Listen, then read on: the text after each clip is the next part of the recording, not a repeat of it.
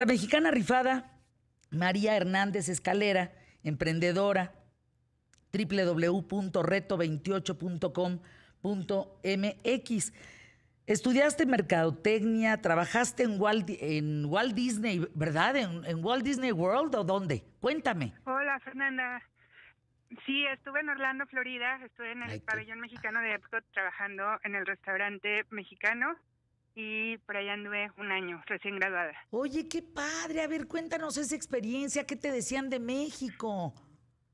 Pues comentarios muy buenos y comentarios también muy este, muy gachos muy malos sí, sí. claro a veces eh, se acercaban a preguntar incluso que cómo habíamos cruzado la frontera para llegar a trabajar ahí ay no no de plano ya con el burro y el sombrero así como los ignorantes estadounidenses dicen algunos sí sí y no, era un tema que nos comentaban mucho los gerentes que pues los veíamos güeros de ojos azules pero pues obviamente hay todos los niveles de, de, educación y pues que no debíamos de tomarlo personal ni frustrarnos con ese tema. Híjole. De ahí te regresas a México a trabajar en marketing, en el mercadotecnia digital para Panasonic, Fiesta Inn, Jack Daniels, Tequila Herradura, Canal Sony, Burger King. Bueno, una cantidad de marcas impresionantes, María Hernández. Sí, estuve en agencias de marketing digital viviendo en Ciudad de México, allá en la Condesa, donde estaba una de las agencias, y después me regreso aquí a Saltillo, y en Saltillo también hay una agencia de marketing digital que ha ganado premios a nivel internacional, han, han tenido muchos reconocimientos y muchas de las grandes marcas con las que trabajé, sobre todo las de tequila y vodka, que eran las más divertidas, estaban eh, pues de clientes aquí en Saltillo. Oye, la vocera ahora de Herradura es Cecilia Suárez. No he visto. Sí, sí, padre, sí, sí. Herradura Estados Unidos le habló y le dijo que quería hacer que ella fuera la vocera y me estaba platicando eso el viernes que se siente muy contenta porque pues es la primera mujer vocera de un tequila Herradura. Me da mucho gusto. Bueno, ¿y hoy en qué andas, María? Cuéntame. Bueno, pues después de, de, tener a mi bebé, tuve que dejar de trabajar en la, en la agencia de marketing digital para, para quedarme con mi bebé y empecé a trabajar en un multinivel.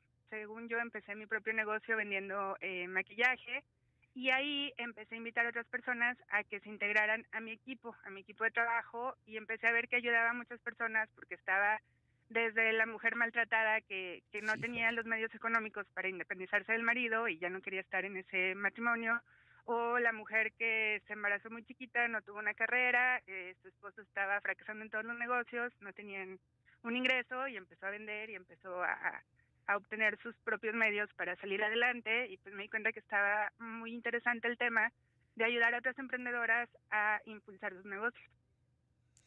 Pues te felicito, vas muy bien. Ahora, de la gente que nos esté escucha, escuchando, ¿a quién podrías ayudar? ¿Quién podría necesitar de ti, pues?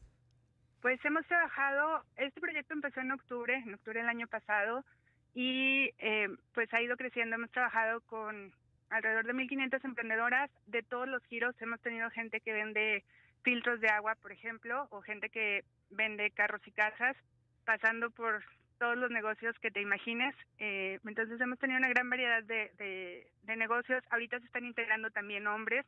En mi publicidad siempre estuvo dirigida con el afán de ayudar a mujeres, pero ahorita en estos tiempos de crisis, hombres también se empezaron a acercar para impulsar sus negocios. Hay dueños de agencias de marketing, hay este dueños de agencias de publicidad, y ahorita pues la mayoría de las empresas recortaron sus presupuestos y des decidieron dejar de, de invertir en esto y pues necesitan empezar a buscar clientes. Entonces hemos tenido todo tipo de, giros y la idea es que es como un gimnasio.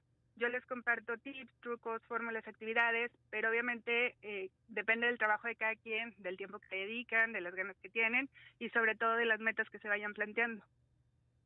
Oye, pues puedes ayudar a muchos negocios, acercarlos a marcas grandes, a vender, eso está padrísimo.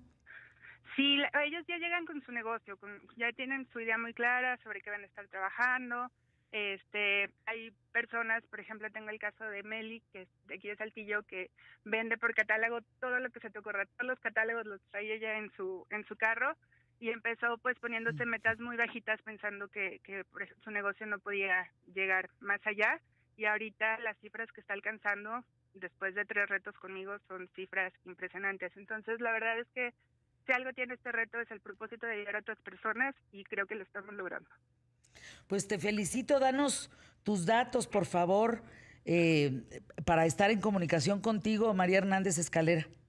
Pues me encuentran en Domina Latino, pero Domina con doble I. Domina Latino en Facebook y en, Instagram y pues la página www.reto28.com.mx.